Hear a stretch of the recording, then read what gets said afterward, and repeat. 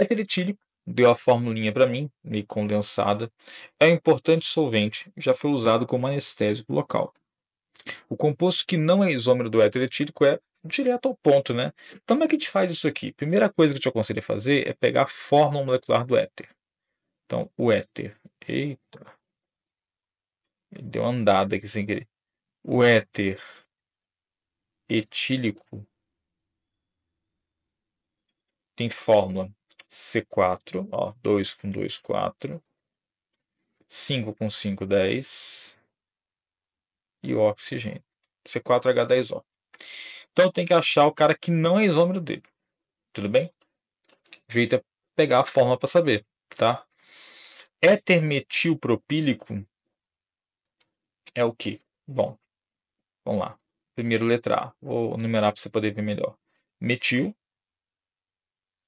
propílico. Vou fazer fórmula até palito para ficar melhor. Aqui eu tenho claramente quatro carbonos, e se é um éter de quatro carbonos com cadeia saturada, tem que ter a mesma formulinha. C4H10O. Pode contar. 1, 2, 3, 4, 5, 6, 7, 8, 9, 10 e oxigênio. Então esse aqui é isômero. Esse aqui não pode ser. Ele quer o que não é isômero, tá? Não. Letra B de baixinho falou o seguinte para mim aqui. Uh, butanol 1. Cara, butanol 1 são quatro carbonos. No carbono 1 tem um OH. Então tenho 1, 2, 3, 4. Começou bem. Hidrogênios eu vou ter 1, 2, 3, 4, 5, 6, 7, 8, 9, 10. 10 hidrogênios e um oxigênio.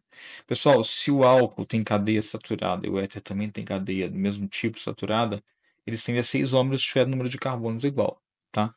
Então, isômero também. Então, não pode ser esse cara.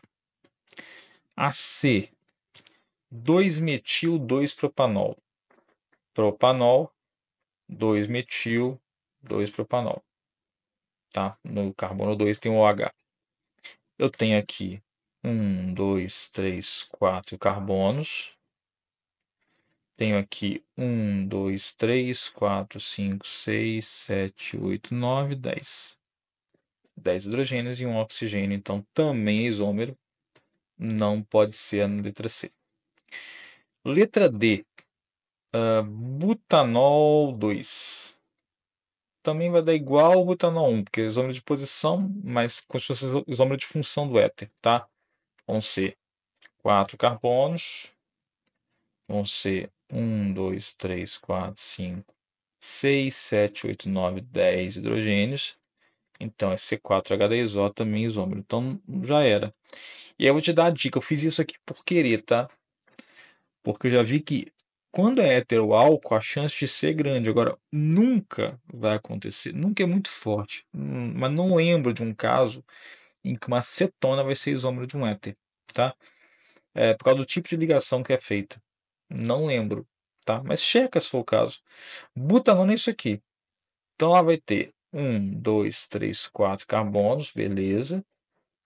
1, 2, 3, 4, 5, 6, 7, 8 hidrogênios. A quantidade de hidrogênio que tem na cetona não é proporcional. E tem um oxigênio. Então aqui temos um desvio do, do processo. E este desvio deixa claro que a que não é isômero do éter etílico é a minha querida propanona. Então aqui eu marco a letra E, que ele queria a molécula que não é isômera do éter etílico. Uma oeste fofa, eu gostei. Achei bonita também.